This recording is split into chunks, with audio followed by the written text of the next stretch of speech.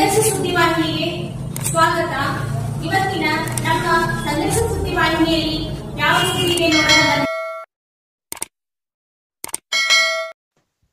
ಕಾರವಾರ ಜಿಲ್ಲೆ ಹಳೆಯ ತಾಲೂಕಿನ ಕಬ್ಬು ಬೆಳೆಗಾರರ ಸಂಘ ಸಾಂಕೇತಿಕವಾಗಿ ಪ್ರತಿಭಟನೆಯನ್ನು ಮಾಡಿದರು.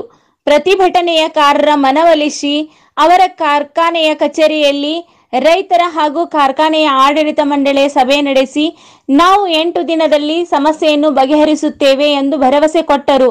ಸಂಘದ ಕಾರ್ಯಾಧ್ಯಕ್ಷರಾದ ಕುಮಾರ್ ಬೊಬಾಟಿ ಅವರು ಮಾತನಾಡಿ, ಒಂದಾನು ವೇಳೆ ತಾವು ಸಮಸ್ಯೆಯನ್ನು ಬಗೆಹರಿಸದಿದ್ದರೆ ಸಾವಿರಾರು ರೈತರ ಸೇರಿ ಉಗ್ರ ಪ್ರತಿಭಟನೆ ಮಾಡುವುದನ್ನು ಎಚ್ಚರಿಕೆ ನೀಡಿದರು. ಈ ಸಂದರ್ಭದಲ್ಲಿ Shankar Kajgar, S K Gowda, Ashok Meti, Mahadev Keloji Ramesh Gowda JD Gangadhar ಉಪಸ್ಥಿತರಿದ್ದರು.